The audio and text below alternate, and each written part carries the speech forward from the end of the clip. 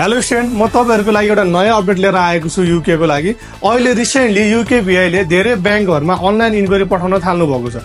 So कोही पनि स्टुडेन्टहरूले आफ्नो प्रोसेसिङमा एजुकेसन लोन अथवा ब्याङ्क ब्यालेन्सबाट प्रोसेस गरिरहनु भएको छ भने कृपया एकचोटि आफ्नो ब्याङ्कमा भिजिट गर्नु होला र युके भिआईबाट केही मेल आएको छ भने त्यो मेलको रिप्लाई गर्न लाउनु होला किनकि युके भिआईलाई तपाईँलाई टेन बिजनेस वर्किङ डेजको टाइम दिएको हुन्छ। जसमा यदि ब्याङ्कबाट कुनै पनि रेस्पोन्स गएन भने तपाईँको भिजा आउटकम नेगेटिभ पनि आउन सक्छ।